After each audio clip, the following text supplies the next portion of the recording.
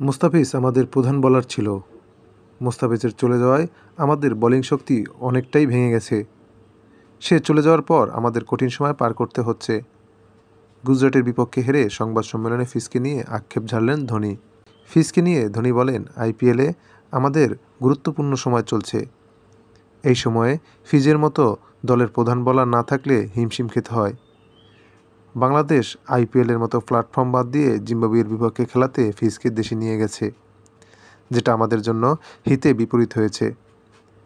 মোস্তাফিজ ছাড়াও পাথিরানাকে পাচ্ছি না এখন। সাংবাদিকদের এক প্রশ্নের জবাবে ধোনি মোস্তাফিজের জিম্বাবুয়ের বিপক্ষে খেলা নিয়ে বলেন, জিম্বাবুয়ের মতো দলের সাথে খেলে সে কী অর্জন করবে এটা আমার বোধগম্য নয়। সেটা বিসিবি ভালো বুঝতে পারবে। তবে সে চলে যাওয়ায় আমাদের অনেক ক্ষতি হয়েছে। প্লে অফে যাওয়াই এখন হুমকির মুখে পড়েছি। ফিজ থাকলে হয়তো এই পরিস্থিতিতে পড়তে হতো না। আমাদের জন্য সামনে আরও কঠিন সময় অপেক্ষা করছে। তা মোকাবেলা করার জন্য আমাদের প্রস্তুত থাকতে হবে।